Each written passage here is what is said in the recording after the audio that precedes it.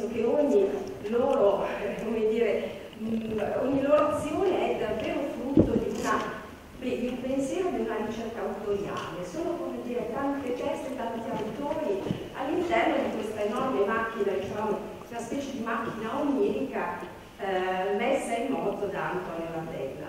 Eh, io seguo il teatro di Latella da molti anni, è una mia grande passione, come i miei studenti sanno, li, li sollecito sempre ad andare a conoscere questo tipo di teatro che mi affascina per due motivi principali, poi lascio subito la parola a loro presentandoli naturalmente. Um, primo perché uh, la tela ci chiede una, di fare un'esperienza, non ci consegna dei personaggi a tutto tondo, come dire, dei rapporti di causa-effetto che siano conseguenziali, ci chiede un'altra disponibilità, Uh, di entrare appunto in una specie di stanza dei giochi in cui valgono delle regole diverse, che non sono più le regole della, appunto, della, della logica e della razionalità, ma sono delle regole che riguardano il sogno, la fantasticheria, quindi eh, in cui diventa molto difficile associare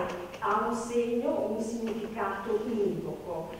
Um, quindi è un teatro dell'intranquillità, dell'instabilità, del dubbio, della permanente, come dire, ehm, come essere sempre in equilibrio precario. E questa eh, sfida mi affascina moltissimo perché è davvero un, un luogo di continue sorprese, ci chiede di abbandonarci, di perderci e in questo uh, Isola dei Pappagalli in effetti questo accade molto facilmente. Uh, volevo partire magari, uh, intanto vi ricordo i nomi degli attori e dei musicisti. Eh, Leonardo Lidi, parto da, da, lui che era in fondo, che è il bellissimo Cecè, un Cecè molto sorprendente, poi magari partiamo proprio da te Leonardo se vogliamo seguire un ordine di, di apparizione diciamo, di serie, eh, Alessio Maria Romano che invece è, lo dico, bassotto, il bassotto anche questo in continua trasformazione poi ci, eh, ci racconti e mm, proseguiamo con Isacco Venturini che ha una parte molto più eh, complessa che non da testo leggendo la parte del capitano insomma è un po' una figura eh, rilevante, ma mm, insomma invece acquista, prende uno spazio e, un senso davvero molto interessanti. Poi c'è Marta eh, Pizzigallo, che ricordo come, mm, eh, come anche Michele nel, nel, Pinocchio che abbiamo visto eh, ormai, cos'era? Cos l'anno scorso? L'anno scorso, bellissimo progetto, anche quello diversissimo rispetto alla Bonaventura che qui sono colori, eh, cromatismi, eh, estremi, invece Pinocchio era tutto su grigi, monocromatico, molto più plumbeo come, come percezione. E poi abbiamo la, la Barbara, certo, però scusa mi riguardo il cognome, anche se la, la Barbara Mattavelli, che tra l'altro è insieme a Isacco, eh, una diplomata teatro stabile, giusto?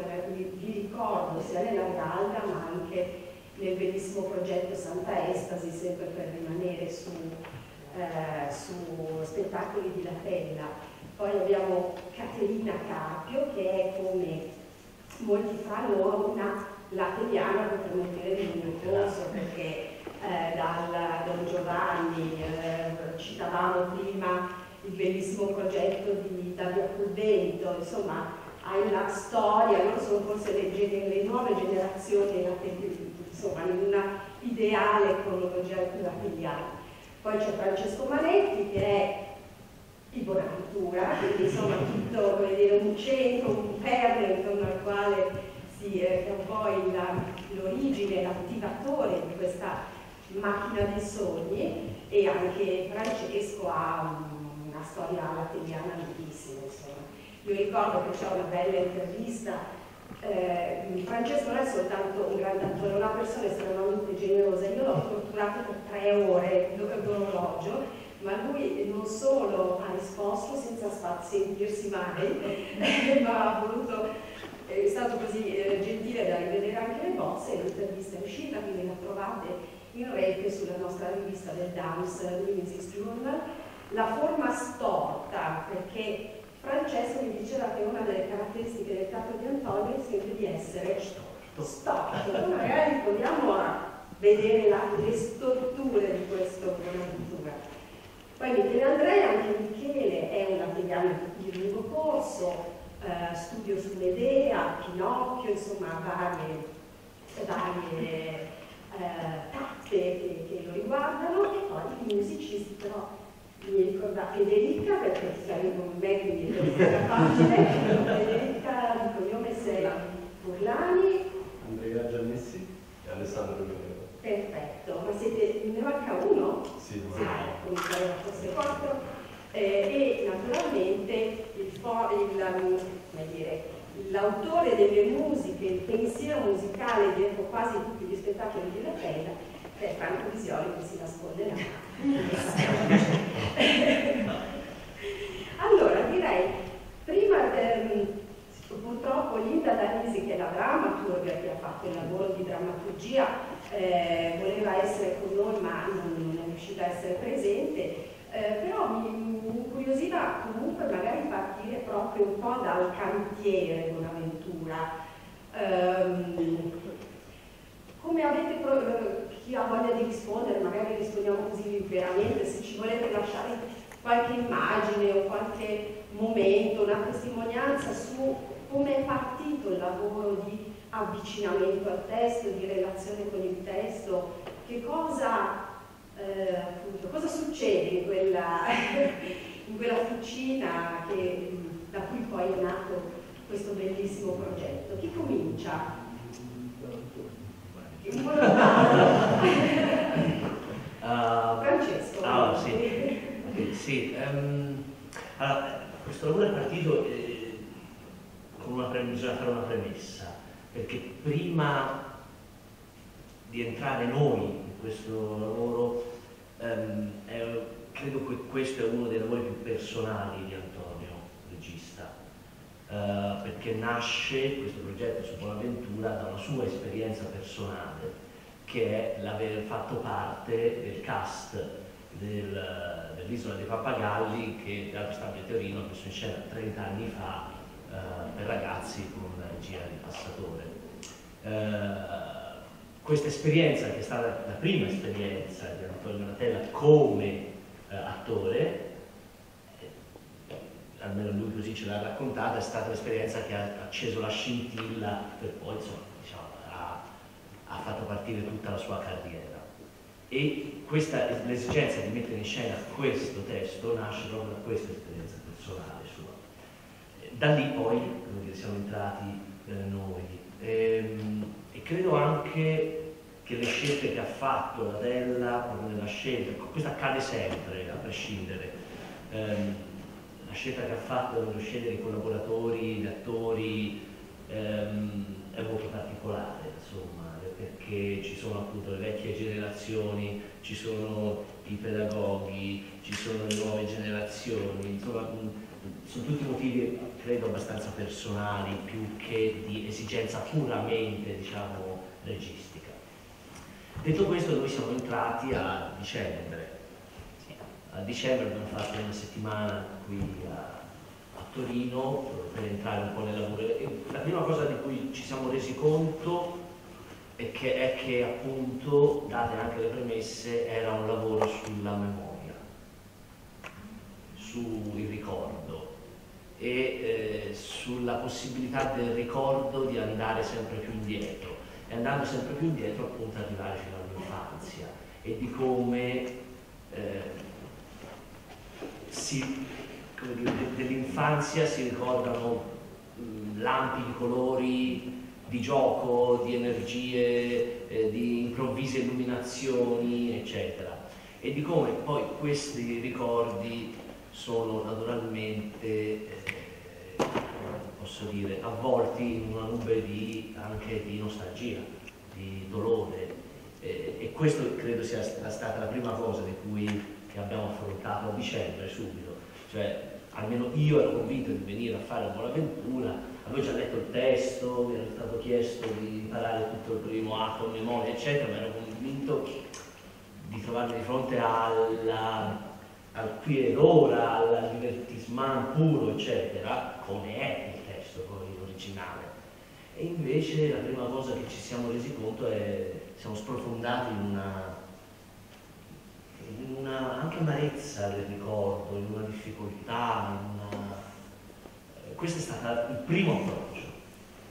E infatti dopo, nella culturale delle prove, la difficoltà invece è stata quella di andare a ricercare la leggerezza dell'infanzia eh, e cercare di mettere insieme un po' queste due cose,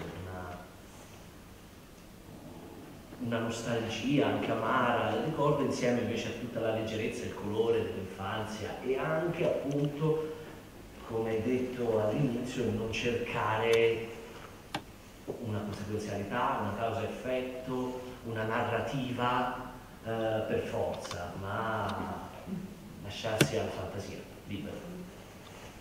Sì, ci consegna una serie di, eh, di azioni, di immagini che ci permettono di sfiorare emotivamente dei significati, non di afferrarli appunto secondo un pensiero, una, una linea che parla alla nostra parte più logico-razionale. Quindi è un teatro che ci chiede di cedere questa anche nostra ansia di razionalizzazione. No? Sì. Allora questo significa questo, e di abbandonarci a questo flusso che è risonanze, molto evocativo, con immagini, penso per esempio all'ultimo quadro, quello con i manichini neri, adesso senza poi svelare troppo, insomma, chi non l'ha ancora visto, che è davvero un'immagine di pluristratificata, perché apre contemporaneamente tracciati di senso possibili, magari anche contraddittori, dati tutti insieme. Questa è la grande forza, secondo me, del suo segno, che è eh, estremamente denso, ricco e procede in direzioni come se ci come se tirasse la nostra mente, anche la nostra emozione, in direzioni diverse, quindi accendendo delle possibilità eh, impreviste. Eh, come imprevisto è, eh, rimango sempre un momento su di te Francesco, perché sei appunto quello che mette in moto poi tutta la macchina ed è una buona avventura assolutamente sorprendente, diciamo. Noi abbiamo un'immagine molto forte nella mente che, è la, che poi è la fisicità di Cofano ed è anche proprio un, un certo tipo di corporalità, invece ormai le immagini sono, sono state pubblicate, sono in rete, quindi non facciamo anticipazioni, esatto, ma è una Bonaventura anziano, come, eh, come se poi progressivamente nel corso dello spettacolo riprendesse la possibilità di ritornare indietro, appunto, ed è su una sedia a rotelle. Quindi tu per quanto tempo, più o meno due del quarti del sei questo come, che cosa significa dal punto di vista proprio dell'atto eh, dell'atto scenico questo tipo di, mobilità e questo Da- dal punto di vista puramente tecnico, quando l'ho saputo, prima di cominciare le prove, ho detto, ah, finalmente, mi si chiede di star seduto, ah, che meraviglia, e parlare, di solito appunto, quando io ho a che fare col movimento, eh, mi si chiede di far fatica. Eh, questa volta ho detto, ah, che meraviglia. Invece poi ho scoperto che stare su una sedia a rotelle a fare quelle cose lì è più faticoso che stare in piedi. E comunque, a parte questa, che è una battuta, eh, io lo sto capendo adesso il perché, dei perché appunto poi non, non logici, eh, ma perché questo Bonaventura sta in questa sedia a rotelle, portato sempre fedelmente da- da- dal bassotto, una relazione meravigliosa. Era Franca Valeri, giusto? Era una- nel- il bassotto di, di Tofano, Tofano Bonaventura era, era Franca Valeri, quindi sa, meraviglia. E, mh, mi sto rendendo conto adesso perché io sono su quella sedia, Bonaventura su quella sedia a rotelle. E uno è, tu dici, io sono quello che dà via, il via a tutto lo spettacolo. Ed è vero, è esattamente quello poi che accade nel testo. Cioè Bonaventura è, è l'italiano medio, non nel senso brutto del termine, anche nel senso bello, nel buon senso. Che ogni volta lo troviamo che fa un lavoro diverso, sempre lavori abbastanza sereni, cui fa il cuoco, fa il cuoco di bordo, ma per caso è quello che dà il via a questa avventura nell'isola dei pappagalli alla ricerca di un tesoro che non c'è. E, e il viaggio parte per Bonaventura, altrimenti se fosse per, per l'equipaggio, se fosse per la città, eh, questa nave starebbe lì ferma. E Bonaventura invece gli dà il via. Ma quello che poi mi veniva in mente è, è un pensiero di questi giorni, che non so se è giusto, non so se, Antonio ci ha pensato, chi lui, però a me mi aiuta moltissimo che in fin dei conti Bonaventura non fa altro che fare quello che si fa quando si va a teatro o al cinema, cioè fa un viaggio restando seduto. E- ed è quello che si chiede, eh, leggevo poco tempo fa una, una- una cosa molto bella riguardo al, al teatro, che diceva noi amiamo gli attori perché fan- loro fanno per noi delle esperienze per, per conto nostro che stiamo lì seduti comodamente, per questo che li amiamo, perché loro rischiano per noi. Ehm, è un po', è un po' questa cosa qui mi sta affascinando molto di, di questa sedia a rotelle, che si fa un viaggio e il viaggio eh, è, si può fare anche da seduti, non c'è bisogno di andare chissà dove. E- ed è questo, però poi alla fine, insomma, anche lì senza spoilerare niente, perché non ce n'è bisogno, è, è quello che accade, insomma. no? Eh, poi tutto in questo spettacolo, è un viaggio nella fantasia, che è quello che noi facciamo quando teatro. Vogliamo fare quando teatro. Questo un po' ce lo siamo scordati, siamo diventati un po' più virgolette, nel senso brutto politici, nel senso vogliamo sempre avere un significato, vogliamo sempre avere una morale, vogliamo sempre avere, eh, siamo molto sempre più occidentali, insomma. Eh, e, e vogliamo sempre più logica, appunto, no? però eh, in questo testo per andare in America si passa dal Madagascar, ma per il semplice, te- per- per il semplice fatto che fa rima, cascar Madagascar. E, e quindi la figlia della governante può cascare solo passando dal Madagascar, ovviamente. Eh, però anche Shakespeare faceva andare i suoi personaggi a Vienna in nave perché dovevano andare a Vienna in nave e ormai erano e, e credo che questo insomma sia no?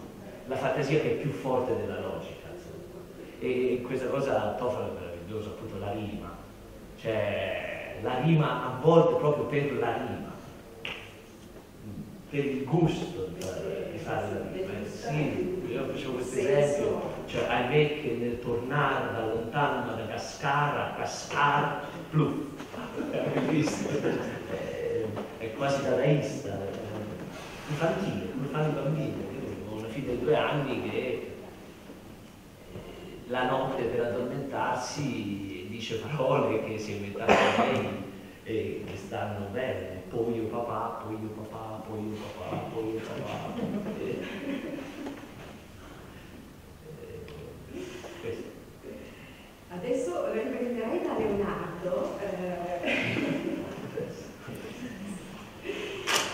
anche Leonardo, bellissimo, c'è veramente molto centrico, ecco, poco ortodosso. Eh, che funzione ha il tuo, la, la figura di Cecè e Ma, che, che, che, che, pezzo della fantasia è secondo te? Non lo so, è difficile parlare di funzione, eh, perché c'è una battuta che dice Francesco che sta un po' accompagnando in queste prime notti, che è, mm, adesso che siamo all'ingranaggio facciamoci forza e coraggio, no? Ed è, ed è un po' quello che già dalle prove, ehm, penso non, cioè io sicuramente, penso che i miei colleghi, soprattutto i miei colleghi tutina, sono obbligati in qualche modo a, a imporsi, no? nel senso che um, siamo all'interno di un ingranaggio e la forza e il coraggio non è tanto quella di starci, perché è un piacere, ma quella di non avere degli appoggi um, di logica, appunto. Francesco ha usato parola logica. Questa è un po' la richiesta, no? nel senso che noi, come ha detto Francesco all'inizio, facciamo parte anche di un'esperienza personale che va a ritroso, saltando, uh, e in qualche modo quindi per esserci davvero dobbiamo un po' liberarci da pensieri adulti, banalmente. E questo è molto difficile, nel senso che eh, fare questa parte di lavoro per, personalmente lo trovo molto difficile e anche molto appagante però, nel senso che poi quando succedono delle cose che tu ti stai in qualche modo divertendo e stai divertendo allo stesso modo dal tuo collega alla persona che ti sta guardando, vuol dire che questo ingranaggio eh, sta funzionando in qualche modo.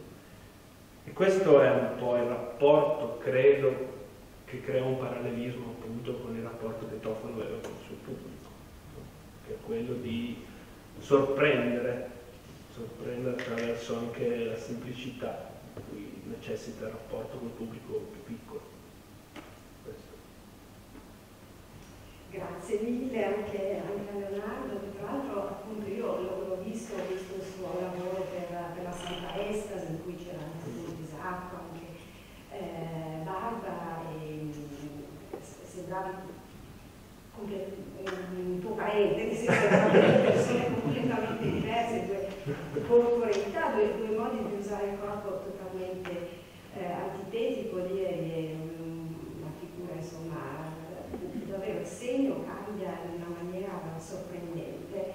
Eh, così come in questo caso eh, Alessio, il, scusa, il, um, mi ha affascinato molto che come evolve Bonaventura eh, eh, cambi tantissimo anche tu, perché tu parti canino, abbastanza canino, no? eh, zampe, vai, e poi eh, piano piano non sono riuscita a individuare il punto preciso in cui a un certo punto non diventi un, non so, un partner, una specie di contrattare di, di mm. Bonaventura, un suo non saprei bene, tante cose, no? tanti stimoli magari contraddittori. Ecco, ehm, questo, questo, questa trasformazione che cosa, vabbè, ti implica ovviamente un lavoro corporeo abbastanza diverso un po' da...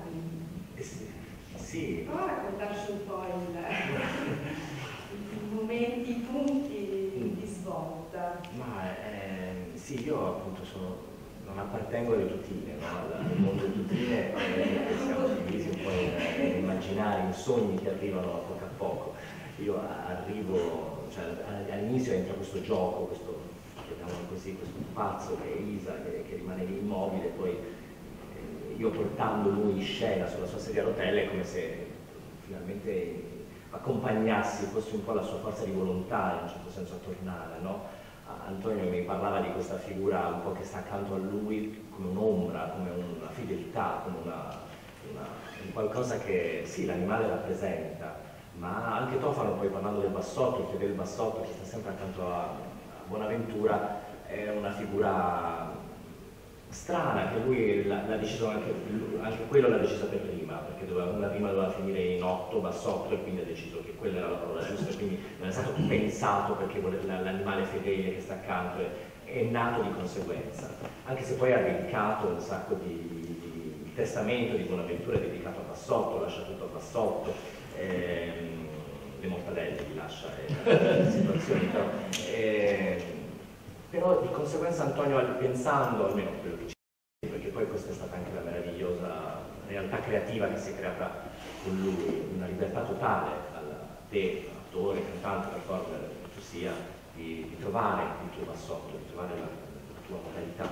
Però è questa sedia a rotelle, quest'uomo che viene portato lì, questo ricordo, e allora come un badante all'inizio che arriva e accompagna quest'uomo anche con un po' di, vabbè, ascoltiamo, comincia a ricordare, come sempre, comincia a ripetere le stesse cose, vabbè, avviene, potremmo ripetere dall'inizio, ricominciare da capo, come era un'ipotesi, perché fino all'ultimo giorno le ipotesi dello spettacolo sono cambiate continuamente. Eh, e poi lì quello che mi ha chiesto Antonio all'inizio, entrando portandolo lì, che il ricordo, lo stupore entrasse nel mio corpo eh, e diventassi quell'idea di cane che potevo avere io, cioè nel senso guardandolo cani o immaginandomi quale cosa un cane può fare, può essere, però non dimenticandomi mai che sono un uomo in realtà, che nella storia cosa c'entro io non lo so come uomo, non c'entro niente, però eh, che fosse a, a una continua trasformazione fra quell'essere animale che il corpo determina col suo cambiamento fisico, eh, ma che poi potesse anche visibilmente diventare uomo, perché? Perché quello che poi ha chiesto anche a me l'ultimo giorno era, integrando a un mio modo di essere, anche pedagogicamente, folle, un po' spensierato, un po' pazzo, un po' svampito, sì, lì, in quel momento, cambia, improvvisa, non, non, importa che sia tutto preciso, non importa se sbagli o che, o che sia giusto, importa che tu ci sia lì, in qualche modo come un animale c'è sempre, come un cane ci può essere sempre per l'altro, per il proprio padrone. Però eh, poi non sei un cane, sei un bambino, sei un, qualcuno che gioca a fare cane. Quindi a un certo punto quando ti stanchi, per esempio nel momento in cui il principino ci tiriamo per, per l'essere così in maniera un po' strana, lì a una prova io l'ho sfatto, non ce la facevo più a stare in quadrupedia, mi sono alzato in piedi, anche dalla casualità del lavoro, eh, eh, va bene, tieni quella roba in piedi, cioè non, non importa se sei sempre in quadrupedia, è un, perché sei un bambino che improvvisamente cambia gioco quello che poi ci ha, ci ha chiesto di essere, dei, dei, bambini che giocano e come dei bambini che cambiano gioco, cambiano gioco.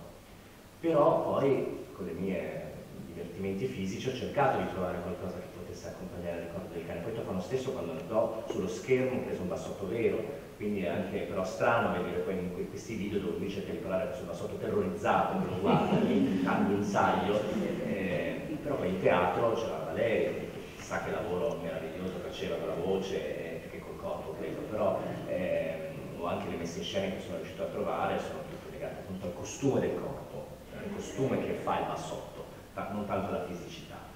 E invece Antonio non ha voluto, anche se ha avuto un naso, una coda durante le prove, o diversi elementi che potessero testimoniare il mio essere cane. Sì, il colore giallo. E poi però la trasformazione sul tango, sul pezzo finale, quando poi arriviamo ad essere, ad essere altro, è che anche poi sul processo creativo, Antonio, eh, Francesco ne parlava, in realtà noi abbiamo fatto diverse tappe, no? una primissima, io, eh, Francesco e Isacco da soli, dove lo spettacolo era un altro, era completamente un'altra, un idea di Antonio, quindi è anche bellissimo vedere come tutto si trasforma, eccetera. il nostro rapporto era quasi da amanti, in un certo senso, quasi da, da, da, da fedeli, io soprattutto da fedele muto, buonasera, a fedele mutuo accompagnatore del suo viaggio, che potesse essere sempre lì con lui.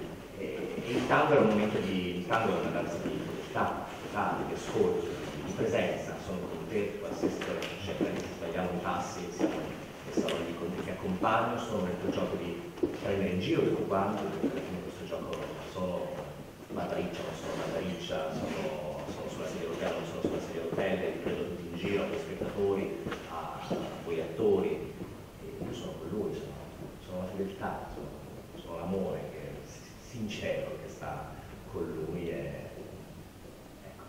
però ecco, la trasformazione fisica è stata dettata da, un, da una libertà che mi ha dato di giocare, di scoprire, ma soprattutto di alternare questo gioco, è sì cane, sì bambino. Provo a fare il cane, mi stanco, basta, basta. Non c'è una logicità neanche in quello, anzi quando ero troppo logico lui no, no, troppo pedagogico, troppo danzatore, no, no, no, torna indietro, indietro, indietro, più, più sincero nel, nel divertirti. Ecco, io mi diverto molto, esco morto ma mi diverto tantissimo nel provare a giocare, che è anche un ricordo che abbiamo così da insegnante di teatro che mi piace molto ricordarmi che cos'è sto cavolo di teatro, che alla fine è un gioco, ci lavoriamo tanto ma alla fine stiamo giocando. Ecco, quello per me è stato un grande regalo che mi ha, dato di fare questo ruolo, perché proprio ritorno alla, a giocare, era divertissimo. E credo che esca morto anche Isacco. Sì, abbastanza. da poco, sia eh, sul piano della danza, ma anche canoro, insomma, è, eh, come dicevo mi ha colpito un capitano che ha assunto un peso abbastanza decisivo eh, e lo troviamo in passaggi cruciali anche nel finale che non raccontiamo perché è troppo, è troppo insomma, sarebbe davvero rovinare la sorpresa. Ehm, che cosa anche per te una, una domanda di, di un percorso all'interno di questa figura che Allora, il mio percorso è stato abbastanza inconsapevole da un lato, nel senso che eh, è partito con tanti compiti, tante cose da imparare, canzoni, passi e cose, e quindi mh, mi ero concentrato su quello per portare del materiale da utilizzare. Poi è stato messo, spostato e la cosa che mi ha sempre sorpreso era il fatto che appunto questo lavoro sulla memoria eh, cui c'è questo Bonaventura appunto sulla sedia a rotelle che ricorda, ehm, in cui tutti i ricordi sono svuotati. Tendenzialmente l'uni- l'unica figura che non cambia mai è la mia figura e sono molto dettagliato nel costume e nel- nell'essere. Eh, però soltanto nel costume, nel senso che poi eh, all'inizio sono un po' una marionetta che si accende e ricorda ma non sa neanche perché ricorda. Eh, succede che canta una canzone che non appartiene neanche a lui eh, e la canta come veniva cantata prima non- e quindi è tutto un, un ricordare involontario, un, un essere una memoria più che avere una memoria, come se fosse un- una marionetta che lui stesso si è costruito, un ricordo che lui stesso si è costruito, l'unico ricordo che gli è rimasto veramente dettagliato e ogni tanto lo, gli dice dai, dai cantami qualcosa, fai qualcosa, in modo che possa risvegliare in me questa, questa memoria o questa gioia, questa allegria. A un certo punto dice appunto, capitano canta, ridammi l'allegria, Eh, proprio come se volesse tornare ad avere mm, una memoria che lui, che lui non ha più. E, e poi sì, c'è sempre, come, come diceva Alessio, c'è sempre un gioco di dentro fuori, dentro fuori, nel senso che a, a volte lo scelgo, a volte no, mh, di, di entrare di nuovo fare il gioco del capitano oppure stare fuori e dire no, cosa sta succedendo, Mh, eh, cercare di capire più da, da essere umano, eh, meno da marionetta, meno da, da personaggio, da fumetto, ecco.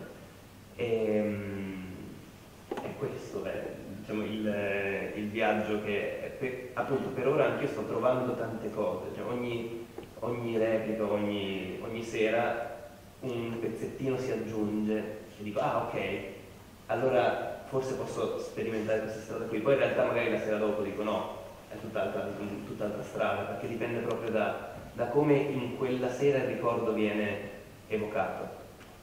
Eh, è.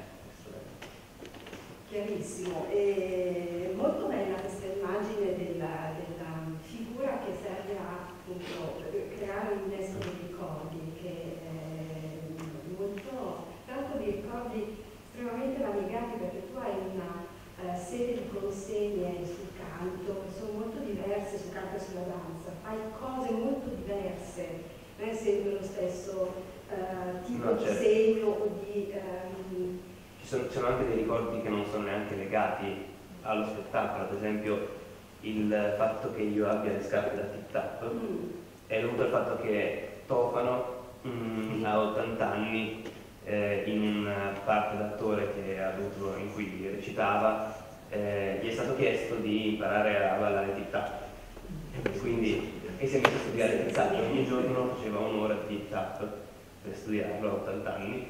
E, e quindi voluto, Antonio ha voluto inserire questo elemento come sempre un elemento di ricordo non dello spettacolo, non della storia, ma proprio della persona di Tofano. Quindi ci sono vari, vari linguaggi e vari ricordi diversi che mi abitano, diciamo. Questa è un'altra specificità del teatro di Matella che io amo moltissimo, cioè non esiste mm, solo il rapporto col testo, le- che essere anche molto profondo, molto importante, ma l'idea che un testo sia una- un corpo che contiene eh, moltissimi eh, elementi, anche la storia scenica, gli immaginari, le biografie, è, è non un testo ma è un oggetto molto più complesso, molto più ampio, che, eh, in, cui tu senti molto la corporalità della regia perché senti il rapporto, lo sguardo, gli occhi e l'accensione di Latella nel momento in cui entra in rapporto con quella scrittura, che però è anche una storia scenica, un eh, immaginario molto complesso, quindi è- e questo crea anche poi a volte delle zone di mistero, no? Ecco, se tu non mi questo, magari ritrovando un'immagine uno poteva dire ah, le scarpe attittate, eccetera, però crea zone di mistero in cui eh, però come spettatori quello che noi ehm, eh, possiamo tenere come patrimonio, per esempio nel, nel tuo caso era la sonorità, questa sonorità così che peraltro anche mi ha colpito molto, poi io chiedo anche a Michele il suo lavoro sonoro, il modo che hai di eh, usare insomma, il dialetto, delle forme dialettali che creano un suono speciale, poi dopo te lo chiedo dopo. Continuiamo la, la fila se, siamo, se siete d'accordo, naturalmente come sapete retroscena con conversazione, incontro aperto, quindi chi vuole intervenire basta comunicate un segno e eh, lo fate senz'altro. E ovviamente anche voi, nel senso che chi desidera, se vi viene in mente qualcosa, fatelo, non, se no, eh, e per poter dare la parola a tutti, e, però sono un po' come a scuola, diamo le righe, eh, non è che dobbiamo proprio farlo così di ricorso. Allora, eh, Marta, eh, io già mi piaceva tantissimo la tua colombina, questa eh, rosolia mi diverte da morire, eh, hai una- un modo di usare il comico che mi affascina tantissimo. eh, sul piano della voce, sul piano delle posture, insomma, una figura che è un animale molto profondamente incisa, anche se eh, appunto da testo eh, si ricorda questa ragazza che scalpita che vuole partire, partire, andare. L'altro era la Vitti, no? In un'edizione, era Monica Vitti che, ehm, che appunto aveva recitato con Topano. E, mm, tu hai un finale insieme a Isacco che non sveleremo.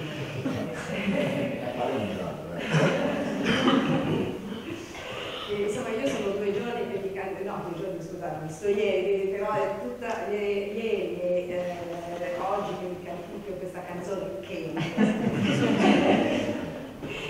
ma invece ehm, anche, anche per te ehm, appunto una, eh, un ritratto, una, mm, viaggi intorno a questa figura eh, molto divertente, però insomma anche estremamente particolare. Che cosa ci dici di di lei? Ma ehm, vabbè, rischio di ripetermi perché poi il concetto è quello, però adesso come dicevi tu, da testo Rosolia, dicevi tu perché non ti battevi vabbè, da, da testo insomma, Rosolia è un po' questa ragazzetta un po' femminista antilittera probabilmente che ha voglia di, di, di, liberarsi da questa situazione data, no? da questo paterno, eh, per cui coglie l'occasione della nave per liberarsi, poi evidentemente questo liberarsi corrisponde a tante cose, una ragazza che sta crescendo e di quel personaggio però di fatto in effetti io non posso dire che sia rimasto perché c'è la parte evocativa eh, che è demandata a Bonaventura nel primo, nel primo tempo dello spettacolo e, e, e, lì si narra questa cosa qui, però io non so di fatto, cioè è, è davvero difficile parlare di adesione a quei personaggi lì, come dicevano anche gli altri, e, perché di fatto non so cosa rimane nell'evocazione, no? che poi è quello che si vede durante lo spettacolo. E, anche io qui c'è Isacco, tante cose le sto, le sto capendo adesso anche man mano, eh, perché l'impronta creativa è stata molto particolare, cioè l'inizio del, del, del, lavoro eh, ha considerato il personaggio, ma non siamo partiti davvero di fatto dai personaggi, poi sono una che era appartenente al club delle tutine, quindi eh, sembra un movimento politico. eh, abbiamo vinto noi.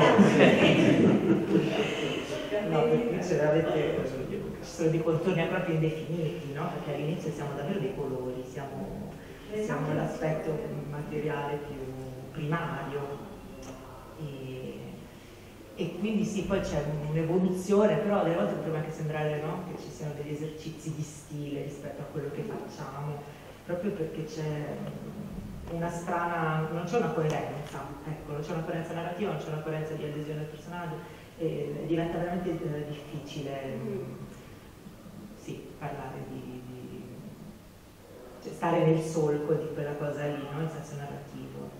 Sì, perché è vero, la, forse la, la, eh, dire, la, la mente più, ehm, più ricostruibile per noi è quella di Bonaventura, esatto. no? sembrano tutte le sue evocazioni matte, brandelli di, di, cose che appaiono, e, tra cui appunto questa stupenda donna rossa, poi cioè, con tra te Isacco avete molto anche Africanto, eh, insomma è affidato molto a voi. Eh, con invece Barbara eh, io ho sentito appunto di cioccolata, doveva essere, dovesse esserci la cioccolata, eh, e mi chiedevo, ma sarà tutta quella um, spalla messa sul capo di Barbara? No, la cioccolata non era per me. Adesso ah, dico loro cioccolata, ma non era a me dedicata.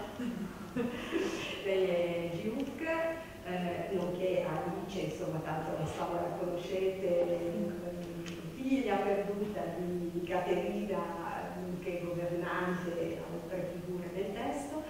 E, mm, e poi dopo tutta la parte raccontata, perché lo spettacolo ha una parte iniziale narrativa di racconto abbastanza dico statica perché non è statica assolutamente, ma in cui eh, l'educazione è proprio tutta dentro la mente dello sue parole naturalmente la presenza di, eh, di Isacco e di Alessio. Eh, con te cambia, c'è un cambio, no? Che cosa ci puoi... Insomma, cambia tutto. Sì, cambia tutto e si apre un mondo tridimensionale che è prettamente di gioco. Se tutti gli altri cercano di ricordare le parole di eh, Giuyuk gioca, proprio puramente. E, e, il suo è un mondo evocativo che evoca poi tutte le tutine nella festa di Bonaventura. Penso che sia quella parte di, di leggerezza. Lei veramente eh, è stata a quanto pare arrivata su quest'isola da piccola e le parole che usa sono parole che lei ricorda, perché sono abbastanza sconclusionate, non, non ha un senso quello che dice, lei ce lo mette, ogni volta trova eh, come fare, ha con sé questo suo compagno pappagallo con cui gioca, probabilmente un suo gioco di infanzia, per una cosa che ho trovato lì con cui un po' scaccia questa solitudine perché effettivamente lei poi è da sola, ci sono il re e la regina Negri, ma non ha una famiglia, una...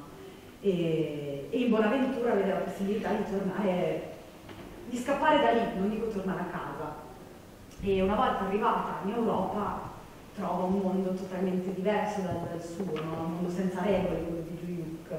Invece l'Europa è un mondo con tante regole e che non corrispondono sempre alla verità. E questa cosa è folle ed emozionante. Sì, è un po' un percorso diverso. Lei è scritta per la moglie di Tofano, per Rosetta. Per Rosetta Tofano, sì. E invece Caterina è sempre tutine, eh, tutine grigia. Tutina grigia che rivendico perché sì, beh, io com- come un po' Rosolia, come diceva Marta, questa governante in realtà ha poche parole, ma perché secondo me questo è uno spettacolo di poche parole, nel senso in cui il testo veramente eh, scarnificato e paradossalmente eh, consegnato a Bonaventura per la maggior parte, ma i personaggi sono, sono privi di, di parola, ce ne hanno poche e anche quelle che pronunciano eh, Antonio ha sempre provato a eh, disorientarle, eh, nel senso personalmente parlando, perché poi eh, con me ha sempre detto stai, cioè mi ha sempre messo fuori asse perché inizialmente sono un'attrice, ahimè, eh, che voglio sempre capire, che voglio eh, formalizzare, dare una sicurezza, no? Invece qui eh, la parola è sempre stata eh, deragliata, non so, proprio mm, e paradossalmente gli ha dato più valore, cioè le parole sono poche ma sono sempre diverse, e hanno sempre una luce, hanno sempre uno spazio ehm, altro che, che crea un'altra finestra. È uno spettacolo molto complesso dal, dal mio punto di vista d'attrice dentro, no? perché eh, appunto questo chiede secondo me all'attore come chiede allo spettatore eh, di spostarsi, di, di lasciar perdere le proprie reti ed entrare in un immaginario che non è solo quello di Bonaventura, ma anche quello di un regista, ma anche quello di un regista che legge un testo. Ehm, quindi questa governante rimane proprio un filo, un segno, un colore, appunto, che prima è grigio, poi è vero, c'è un costume, ma mh, a questo costume appunto sono consegnate poche, poche cose, quindi è un ricordo.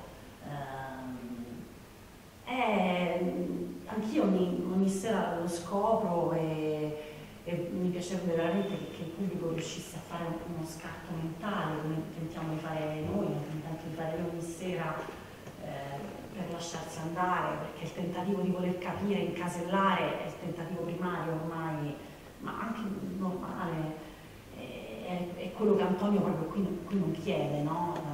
Cioè, ieri sera a cena ci chiedevamo proprio anche con Franco, cioè abbiamo anche dei, dei, passaggi logici che a noi stessi ancora non tornano, no? siamo lì che ci chiediamo ma quella cosa ma perché fa così? Quindi una continua anche lì ricerca. Eh, per cui sì, mi, piace pensare che siamo, che questa governante è proprio anche questa figlia, arriva quasi casualmente, non c'è la storia della governante che ha perso la figlia, sì, la, la cita lui all'inizio, ma è, è sconclusionata. Poi Antonio ci ha messo, cioè quella scena finale è strana perché lei è contenta di trovare la figlia, ma c'è un ragionamento perché poi vuole le perle, il cofanetto con le perle malissimo, lui ha voluto che come se ci fosse un accordo tra di noi finale per prendere queste perle, eh, poi c'è lui che interviene in quanto attore regista che ci, ci ferma, ci fa, ci rifà rifare l'azione, come anche lì a voler cercare eh, un, un, senso, sì, un senso dell'afferrare un rapporto madre-figlia, un senso sui soldi. Eh, tanti significati, adesso spaventatissimi da questo. eh, però sempre incuriositi direi, ehm, grazie mille anche a te Caterina. Tra l'altro questa cosa che avete detto in, in più di uno, eh, non sappiamo bene neanche noi che cosa, qual è l'effetto, che cosa accade no? mentre lo stiamo facendo accadere. Questa è una cosa spiazzante, no? nel senso di una... Eh, di cedere appunto anche questo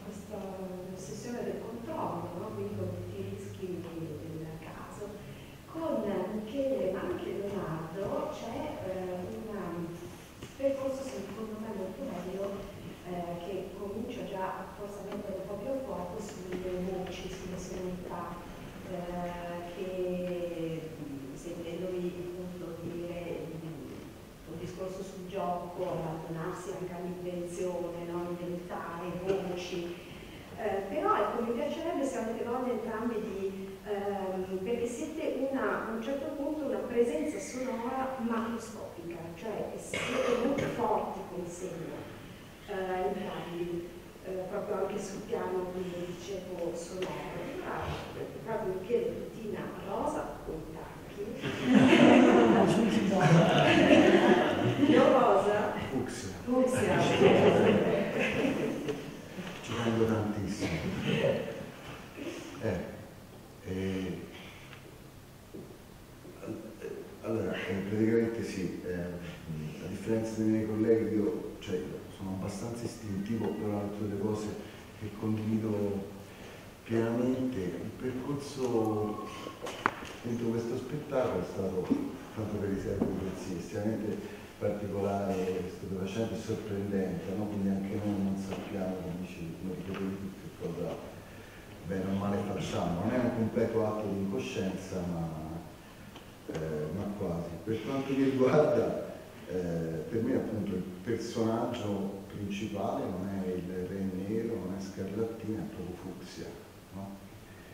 Esce fucsia, si fa carico. eh, si fa carico del gioco, si fa carico delle conseguenze del gioco, eh, del ridicolo e così approccia a, a tutto il resto. Prende, usa, lascia con un criterio che sorprende per primo me quando va bene, nel senso che eh, se domani vieni, eh, sì, delle sonorità le trovi, ne, ne ritrovi delle stesse, ma è un riscrivere continuamente no? Sì. Come un gioco, un gioco va tenuto vivo, no? non è che un bambino gioca, siamo capaci di giocare a soldativi per interi mesi facendo la stessa cosa, ma per la stessa cosa è sempre diversa. Quello è il gioco e questo è quello che faccio. Per quanto riguarda la sonorità, per me è proprio un, così, un divertimento, poi anche casuale, perché così come Antonio ci ha chiesto di approcciare anche in modo istintivo a delle cose, eh, per me ecco, non so perché, sarà che è un anno che mi addormento con Paolo Poli. È un anno che sembra una cosa da psichiatra, però eh, cioè, mi addormento, mi piace, mi piace molto sentire Paolo Poli spesso prima di andare a letto. E niente, riflettevo su, queste sonorità nasali che, che erano, come dire, Paolo Poli era simpaticamente, deliziosamente antipatico, no? nella sua grandissima simpatia e permetteva di stare dentro le cose, no? quindi era contemporaneamente sia freddo no? nell'approccio sia estremamente caldo negli esiti. E, e, comunque la voce è il gioco, è il gioco così come il saltare, il muoversi, eccetera, la voce è il gioco per eccellenza, che sono chiamato a giocarlo, eh, dove devo tener di conto un criterio maggiore che è quello di sì dell'appropriatezza ma fondamentalmente del divertimento. Chiaro. Beata lei, io Volevo chiedere anche a Leonardo se voglia di, di fare una chiosa. Sì, ma mm, la cosa che mi aiuta molto è quando Marta, Rosolia, che non sta arrivando Rosolia, insomma, eh, il primo ingresso diciamo del prima, il primo bozzetto di personaggio tra di noi eh, inizia e non esce questa voce, no? questi tentativi uh, di, di, in maniera istintiva in prova mi veniva da non guardare lei ma di cercare questa voce nello spazio. No? E poi ripensandoci così nel lavoro, questo è molto emozionante, no? trovarsi delle cose mentre si fanno, eh, pensavo che comunque ogni attore a un certo punto deve fare i conti nella sua formazione con questa cosa che è la voce, no? nel senso che eh, tutti quelli che sono usciti da una scuola hanno avuto l'insegnante che si occupava appunto di questo, no? quasi come una materia, come un dato di fatto. E, e, questo se ripenso a un percorso quindi personale di un regista, di un attore che si rapporta con uno spazio scenico, c'è il momento dove questa voce diventa un dato di fatto e quindi quattro figure che ehm, istintivamente entrano su uno spazio scenico e che ballonzolano nel tempo e poi a un certo punto scoprono di avere una voce e poi a un certo punto scoprono che questa voce possono anche utilizzarla per dire delle cose sensate. Eh, quindi il lavoro sulla voce, appunto, come diceva Michele, è sì ehm, istintivo e casuale, ma in, in, qualche modo fa parte, di, secondo me, di un percorso della formazione che noi portiamo all'interno dello spettacolo. No? Antonio spesso parla eh, della pedagogia rispetto a questo testo. Io penso che la voce faccia parte di un percorso anche pedagogico. E quindi scoprire di averla, appunto, sentirla anche con il grande lavoro appunto di Franco, no? Cioè quando parte ehm, il microfono non è per risolvere una situazione, il microfono è un altro dato di fatto. Cioè la voce si fa in qualche modo, si riempie nello spazio e si trova. A volte capita che questa voce, come nel mio caso, non è all'altezza del corpo, quindi questo cecè che si incastra entrando in questo, in questo spazio ha una voce rimasta, rimasta, rimasta per me incastrata in un tempo antico, quindi antico. Grazie, no, chiarissimo, anche tu, io non so, penso mi sembra limpido il discorso che fate, tornerò a vedere lo spettacolo con chiavi ulteriori di, eh, così, non di comprensione ma di sperdimento, quindi godermi ancora di più lo sperdimento. Adesso qui comincia con parte musica, eh, dunque musica di scena e musica di scena, eh, Franco è la, prima volta che vedi Zanatella, che mi sembra di sì. Musicisti dal vivo. Musicisti dal vivo, sì. Quindi un esordio, non serio. e dunque siete, eh, diciamo, manca una, un vostro compagno, siete in quattro divisi su eh, due lati. Eh, voi intanto che mh, avete lavorato in collaborazione con Camprovisione, immagino, e raccontateci un po' queste musiche. Si passa da riflessionalità molto diverse insomma, che fatto il quadro, ora chi non ha ancora visto lo spettacolo, ovviamente senza svelare la fine, che quello non si dice, però avete un'idea, magari se ci fate un racconto delle, delle, delle scelte musicali, del, anche del tipo di qualità del suono che vi ho chiesto, eh, se c'è stato un, un mandato specifico ecco, rispetto ma credo che la cosa più, che colpisca di più sicuramente sia il fatto che questo è uno spettacolo scritto con delle musiche da, da Rota, però di fatto tutte le musiche di Rota vengono fatte a cappella da Isacco per la maggior parte e non vengono suonate dai musicisti, quindi questo penso che sia abbastanza che colpisca. No? E, la cosa su cui abbiamo lavorato tanto noi musicisti è stata secondo me capire cosa fosse quest'Africa, quindi abbiamo lavorato tanto sulla sonorità dell'Africa e capire cosa poteva, cosa poteva diventare sia in relazione ma anche in opposizione direi con, con la scena. E, ehm, poi mi riaggancio anche a quello che ha detto Barbara, c'è tutto questo primo atto in cui entra soltanto la parte percussiva di Alessandro e, ed è abbastanza bidimensionale direi come diceva prima Barbara, no?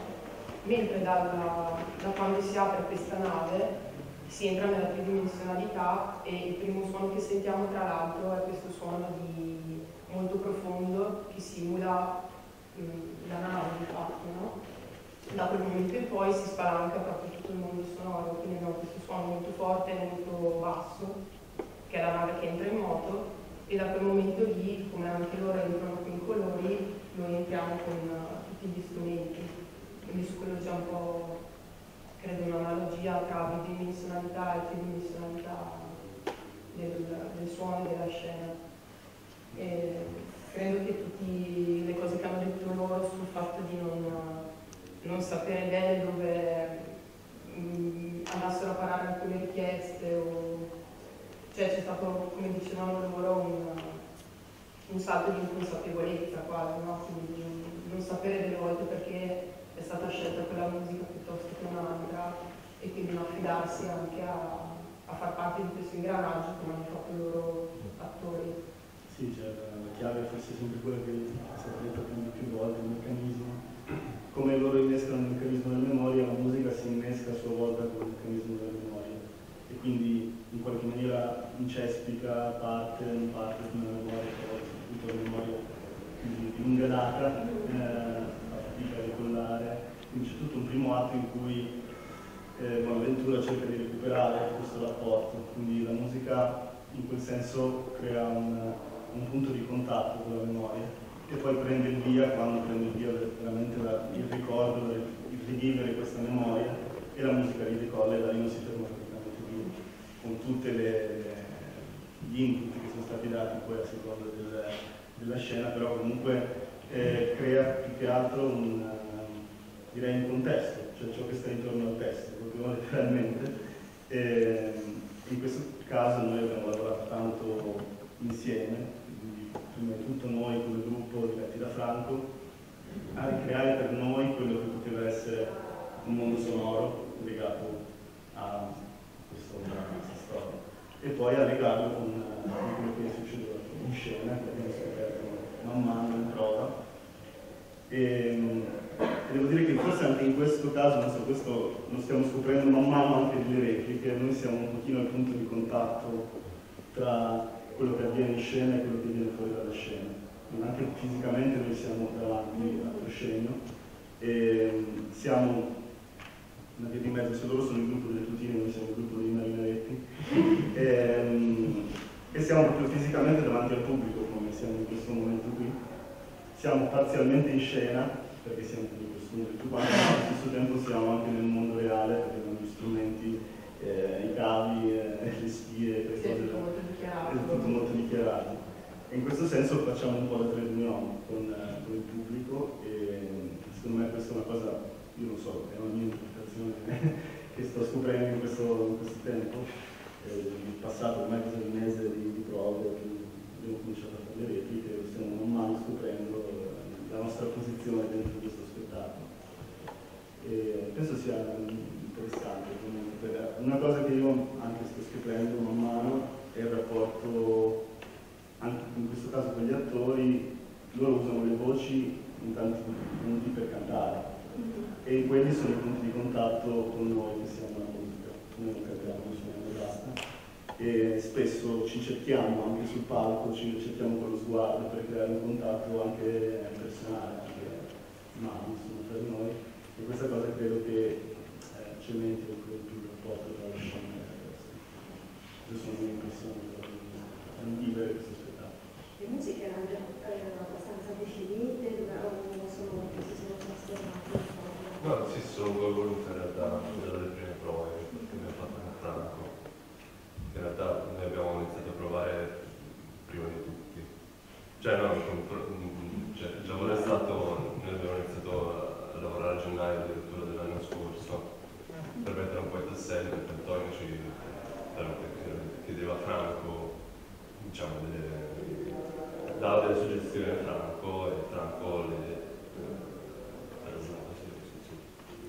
Ehm, quindi sì, è stato un lavoro più lungo. eh, è interessante perché abbiamo, come posso dire, ehm, mm, cioè dagli spunti che ci hanno dato eh, siamo riusciti ad andare anche oltre, molto oltre. Mi viene da dire l'Africa, il momento dell'Africa, quella alla fine è nata dalla improvvisazione. Eh, invece diciamo tutto il terzo atto sono più canzoni del Novecento, del, dell'Occidente, famose, riprese, reinventate da noi. Cioè, a me è piaciuto molto questo, questo approccio. Eh, all'inizio non capivamo bene un po' gli incastri, no? Per anche tutte le cose che hanno detto loro, incastri, come poteva incastrare una musica piuttosto che l'altra, una canzone, dicevamo, cavolo, ma questa qua è un pezzo molto, cioè, è molto famoso, non può incastarsi là, con la scena, in realtà poi è tutto questo in questa settimana di lavoro. Eh, La musica data abbastanza, però dà nel senso individua dei punti temporali abbastanza chiari, nel senso perché le conosciamo tutte, sappiamo più o meno il periodo in cui sono state quindi immediatamente conosci quale pezzo del movimento sta, quale sta girando. Eh, però io ho tantissimo, lo dicevo prima Franco, anche tutta la parte che sono incastrata, quindi affascinante, quella credo fosse proprio la, la zona della, della nave, i suoni della, della nave, che dicevi, della... Sì, questo è anche un, un grande lavoro su, prima dicevano di questo fatto di loro che prima entravano solo fisicamente con questa cosa di routine e solo in un secondo momento riescono a trovare la loro voce, eh, i personaggi, e questo viene reso tanto anche dal lavoro che fa Franco con eh, degli effetti che vengono messi sulla, c'è un microfono sul palco che viene usato per prendere il suono sulla scena e vengono usati degli effetti particolari sulle loro voci quando parlano o anche per creare delle atmosfere sui campi di Isacco, quindi anche quello aiuta tanto a dare questa sensazione della ricerca del, del suono, della voce, del trovarlo proprio, no?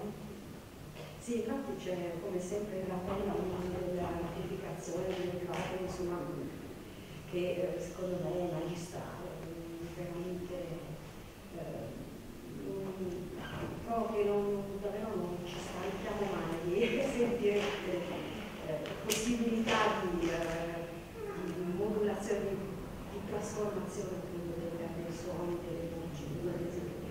Eh, ci sono interventi perché siamo quasi in chiusura di usi, siamo super chiusura perché devono andare. Eh, la signora rapidissima. Eh, grazie, complimenti tantissimi. Eh, quello che dicevate che lo spettatore all'inizio vuole capire dove c'è sempre, ma siete talmente bravi ad ascoltare eh, come fa sempre la tele, almeno come che lo seguo da anni, eh, mi stupisce e mi meraviglia. Quindi io entro nella meraviglia, nel stupore e a quel punto mi interessa se non capisco tanto l'interesse di storia che succede.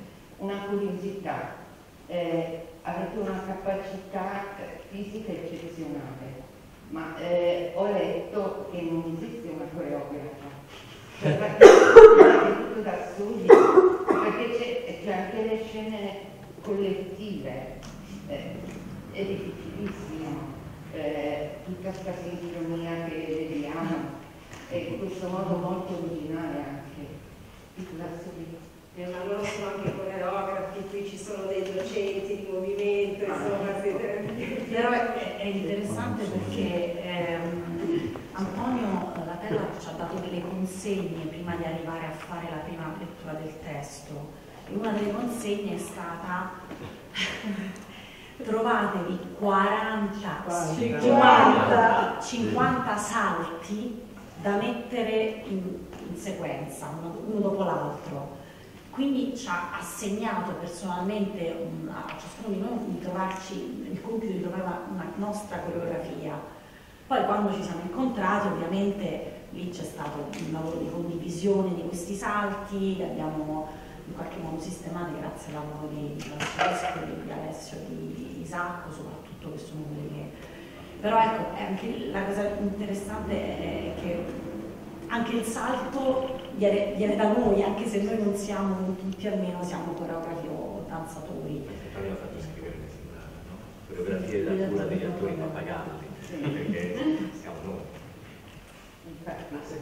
Sì, l'ha scritto, Però anche quella è una bella sfida del suo lavoro, cioè concedere a degli attori la possibilità di auto-organizzarsi, non è sempre facile, però per non avere paura, perché, ma come il coro, quando facciamo il coro quando fate esperienze bravissimi per fare la fotografia particolare che dura che uno spettatore non dice finisce, no, dice possiamo andare avanti a fare mi sembra una bellissima conclusione finale di incontro, grazie infinite. Grazie.